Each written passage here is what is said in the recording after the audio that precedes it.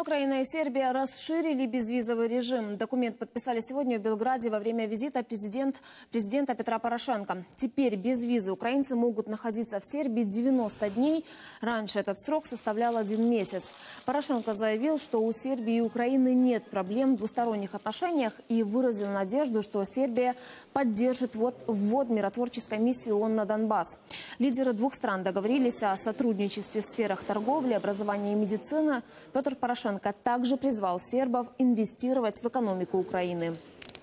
Лише декілька тижнів тому ми домовились про те, що ми підпишемо угоду, яка продовжує термін безвізового перебування громадян Сербії в Україні, громадян України в Сербії, для того, щоб покращити контакти між людьми, для того, щоб спростити е, візити туристів, підприємців.